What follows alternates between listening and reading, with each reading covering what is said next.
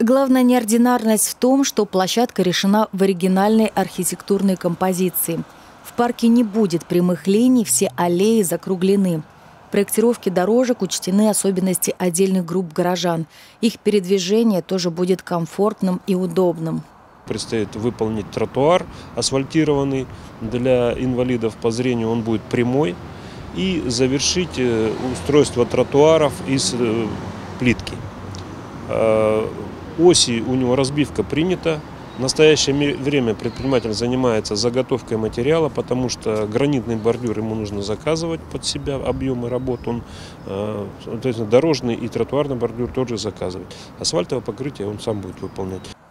Сквере уложат тактильные тротуарные плитки. Они станут индикатором для слабовидящих и слепых.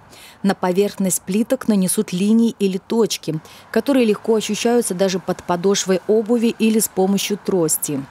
Слабовидящие смогут сориентироваться о приближении к проезжей части, изменении уклона поверхности, наличии опасных объектов впереди. Подобные плиты уже есть в районе Всероссийского общества слепых в Абакане.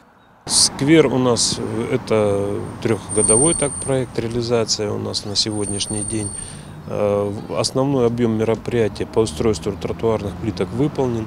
Структура у него сложная, то есть он разнонаправленный. Применение покрытий в нашем городе, в данном сквере тоже несколько типов. Там разный тип тротуара, на плитках резиновое покрытие.